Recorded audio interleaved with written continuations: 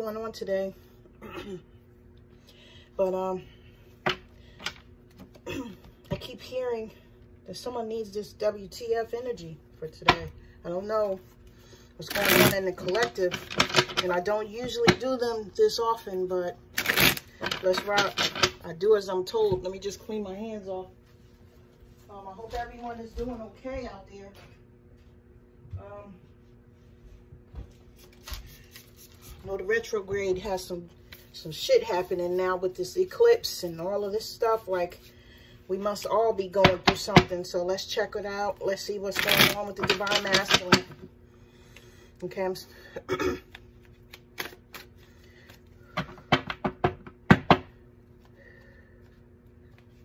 For Ophiuchus.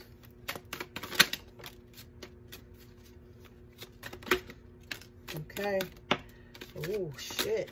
Okay. Okay. Wow. Okay. For a Ophiuchus, y'all, listen to me. Divine Masculine is awakened to who he is. A Divine Masculine. wow.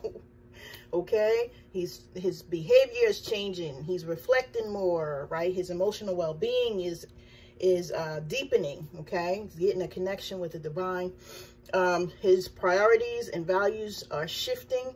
Um, his inner world is shifting, right? And it's because he's paying attention to these synchronicities, right? But his pride is still in the way, right? He's still very prideful. He's afraid to, to take action for fear of embarrassment or shame, right? He has difficulty apologizing to you, feminines. Um, he wants intimacy, though. He misses making love to his feminine. And, you know, he's struggling with feeling vulnerable. He doesn't like being vulnerable. He doesn't like feeling like he's not in control. And he doesn't like feeling afraid to do something, okay? He's afraid to come to his feminine right now, right? He's afraid to open up.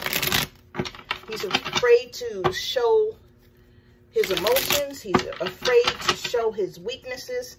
Divine Feminine for Ophiuchus, please. What is this? You taught me to put myself first.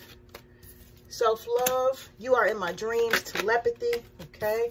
I am protecting my energy from you. You told me that I was your son. You said I made you happy. Okay. Something may have happened in the springtime. I've been speaking to you on the phone for hours. I just miss hearing your voice.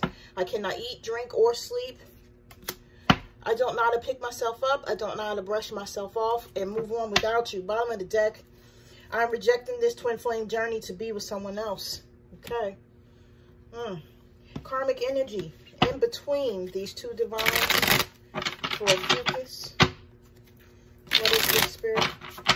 Wow, divine masculine is awake, yo. Wow, wow, wow.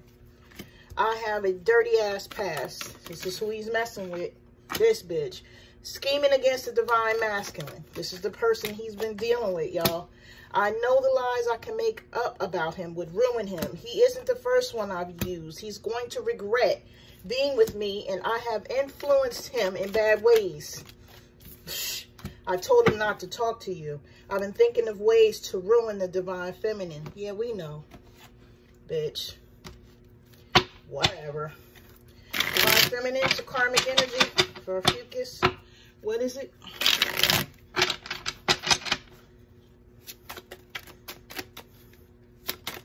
I'm sorry, y'all. These readings get on my nerves. I'm releasing this journey to the universe. Absolutely. This is what she said over here. He will stay with you because he's not ready to be in union with me, meaning he hasn't done all his karmic lessons. You can have him. Okay? That's right. You subtract from him. I pour into him. We are not the same. What else, Spirit? I reject you and my divine masculine. I have learned all that I need from this connection. I release you and send you both love and light and stop calling my phone. Your ego is off the chain. My world does not revolve around you. And I wondered about you. I wondered why was he with you? Why did he leave me for you? But now I understand. The bottom of the deck, the difference between you and I is this. I don't like to share. We are just two women that love the same man for different reasons. But you know he craves me, right? I'm sending y'all love and light. Y'all take care.